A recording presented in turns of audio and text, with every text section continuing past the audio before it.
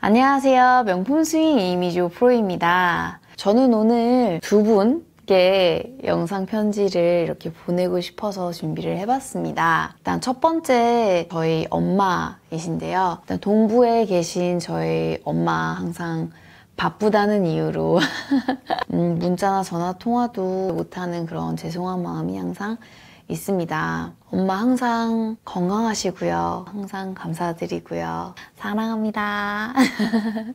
두 번째로 영상 편지를 보내고 싶은 분은 바로 저희 아빠입니다.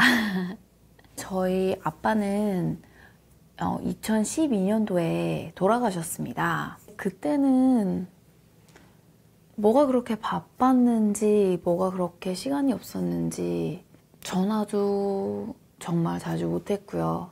자주 찾아뵙지도 못했고요. 보고 싶다는 말, 뭐 사랑하는 말 이런 말이 너무 쑥스러웠고 표현을 잘 못했었어요. 저의 음, 큰 터닝 포인트였던 것 같아요. 삶을 보는 관점이 완전 180도 바뀌게 되었는데요.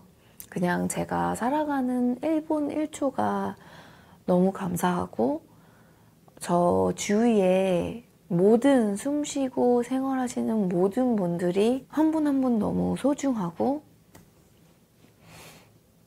음, 표현을 하지 않으면 아무도 내 마음을 알 수가 없는 거구나 라는 걸 느끼게 됐고요. 그래서 요즘에는 좀 낯간지러워도 표현을 하려고 굉장히 노력을 합니다. 그때 겪고 나서 보니까 너무 후회가 되는 거죠. 하늘에 계신 아빠 감사하고요. 항상 보고 싶고요. 사랑합니다.